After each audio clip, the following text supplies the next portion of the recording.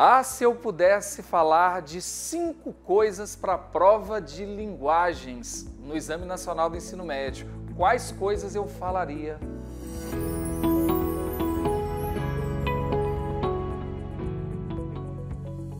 Pois bem, primeira, GPS. Preste muita atenção no GPS de cada questão. O GPS, como você bem já imagina, é o enunciado. A gente tem que partir sempre do princípio que a prova do Enem é uma prova de leituras. Leituras de diversos gêneros, leituras em todas as áreas do conhecimento. Então, muita atenção no enunciado.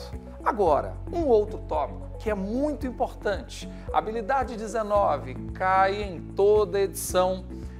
Fique atento às funções da linguagem. Isso, faça uma revisão de todas as funções, observe durante as leituras de textos, até mesmo nos simulados, verifique lá a predominância, inclusive de algumas funções da linguagem. A outra dica sempre cai: variedades linguísticas. Não tem como pensar a prova de linguagens sem variedades linguísticas. É estudar, revisar e acertar a questão. Fique de olho também nas vanguardas europeias.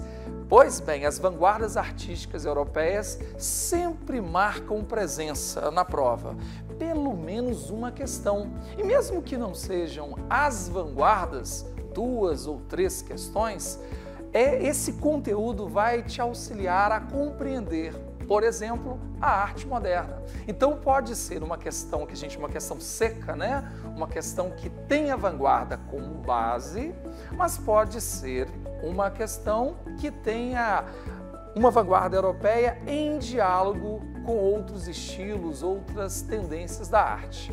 E por final, e não menos importante, é sempre bom frisar o valor à arte contemporânea, arte e literatura contemporânea. Nas últimas edições, o exame tem dado uma atenção especial para a produção contemporânea. E aí, gostou? Então é só prestar atenção nesses pontos e arrasar na prova do Enem.